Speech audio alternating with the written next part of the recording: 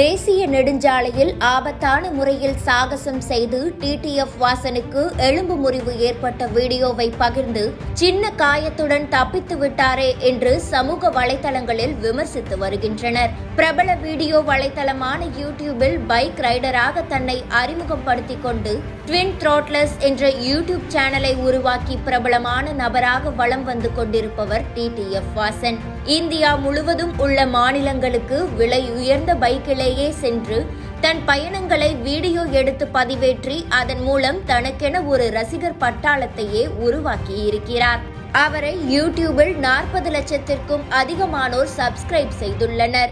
இவர்களில் பெரும்பாலானோர் two K kids என்பது குறிப்பிடத்தக்கது. கடந்த ஒன்றரை ஆண்டுகளுக்கு முன்பு தனது ரசிகர்களை சந்திப்பதற்காக ஒரு கூட்டத்தை ஏற்பாடு செய்து இரண்டாயிரத்திற்கும் மேற்பட்ட டூ கே கிட்ஸ் அந்த சந்திப்பு கூட்டத்திற்கு வருகை தந்தது சர்ச்சையானதால் அனைவர் கவனத்தையும் தன் பக்கம் திருப்பினார் டிடிஎஃப் வாசன். யூடியூப் மற்றும் ஸ்பான்சர்களின் வருமானத்தில் அவர் தன்னை பிரபலப்படுத்திக் கொள்வது அவரது தனிப்பட்ட விஷயம் என்றாலும் விபரீதமான முறையில் வாகனத்தை ஓட்டி பல முறை சமூக வலைதளங்களில் விமர்சனத்திற்கும் உள்ளாகியிருக்கிறார். தான் மட்டும் விலையுயர்ந்த ஹெல்மெட் ஸ்போர்ட்ஸ் ஷூட் போட்டுக்கொண்டு சாலையில் செல்பவர்கள் எக்கேடு கெட்டு போனால் என்ன என்ற துணியில் அதிவேகமாக வண்டியை ஓட்டி வீடியோ எடுத்து வசூல் செய்பவர்தான் இவர். பொதுவாகவே இந்திய சாலைகள் வாகன நெரிசல் மிக்கவை. எண்பது கிலோமீட்டர் வேகத்திற்கு மேல் செல்வதற்கு லாயக்கு இல்லை என்றாலும் அந்த சாலையில் வீலிங் செய்வது கையை விட்டு ஓட்டுவது அதிவேகமாக வண்டியை ஓட்டுவது போன்ற தற்குறித்தனங்களில் இயல்பாக ஈடுபடும் நபர்தான் இந்த டிடிஎஃப் வாசன் என்று சமூக வலைதளங்களில் விமர்சிக்கின்றனர். வேகமாக வாகனம் ஓட்டாதீர்கள் விவேகத்துடன் ஓட்டுங்கள் என்று என்னதான் சாலைகளில் எழுதி வைத்தாலும் வேகம்தான் இங்கு இருக்கு விவேகம்லாம் அண்டார்டிகா பக்கமோ ஆப்பிரிக்கா பக்கமோ இருக்கு என்று பைக்கை ஓட்டுபவர்தான் இந்த டிடிஎஃப் வாசன். இந்த நிலையில்தான் மகாராஷ்டிராவிற்கு ஹயபுசா என சொல்லக்கூடிய சுசுகி நிறுவனத்தைச் சேர்ந்த முப்பத்தி ஐந்து லட்சம் ரூபாய்க்கு மேல் மதிப்புள்ள இருசக்கர வாகனத்தில் சென்றுள்ளார். அப்பொழுது மழை காரணமாக காஞ்சிபுரத்தில் தங்கிய வாசன் தனது ரசிகர்களையும் சந்தித்திருக்கிறார்.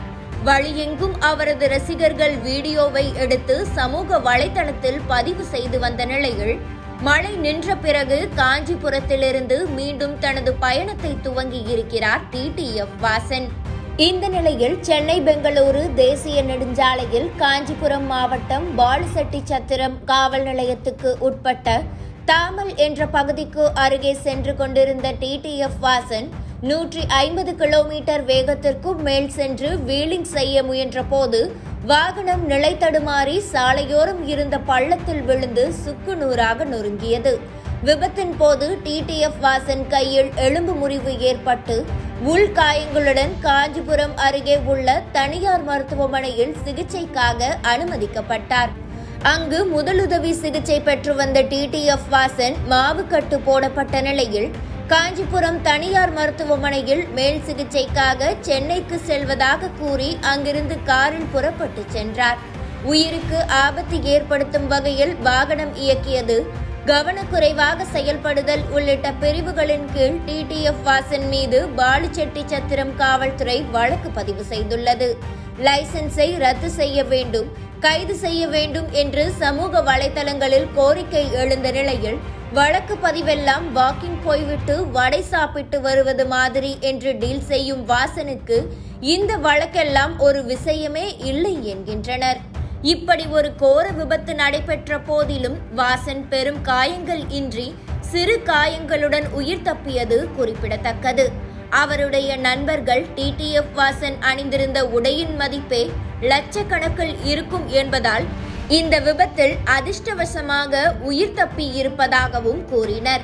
சிக்னலை மீறினாலோ ஸ்டாப் லைனை தாண்டினாலோ ஹெல்மெட் போடாமல் போனாலோ வளைத்து வளைத்து ஃபைன் போடும் காவல்துறை டிடிஎஃப் வாசனிடம் மட்டும் திருந்துப்பா டீ வாங்கி தாரேன் என்ற ரேஞ்சிலேயே அணுகுவது வியப்பை ஏற்படுத்துகிறது என்று கூறுகின்றனர் சமூக ஆர்வலர்கள்.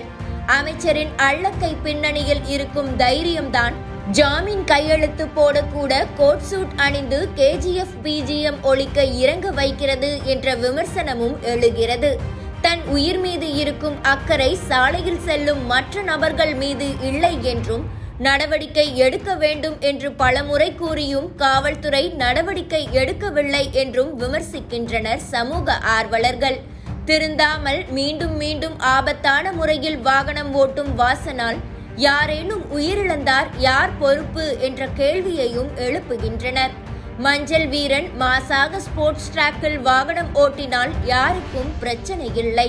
ஆனால் பொது சாலையில் விபரீதமாக வாகனத்தை ஓட்டுவது ஆபத்து என்று விமர்சிக்கும் அவர்கள் டிடிஎஃப் வாசனை பார்த்து சிறுவர்கள் தவறாக வழிநடத்தப்படுவதாகவும் இது பாதுகாப்பு பிரச்சனை மட்டுமில்லை சமூக பிரச்சனையும் கூட என்று எச்சரிக்கின்றனர் சமூக ஆர்வலர்கள்.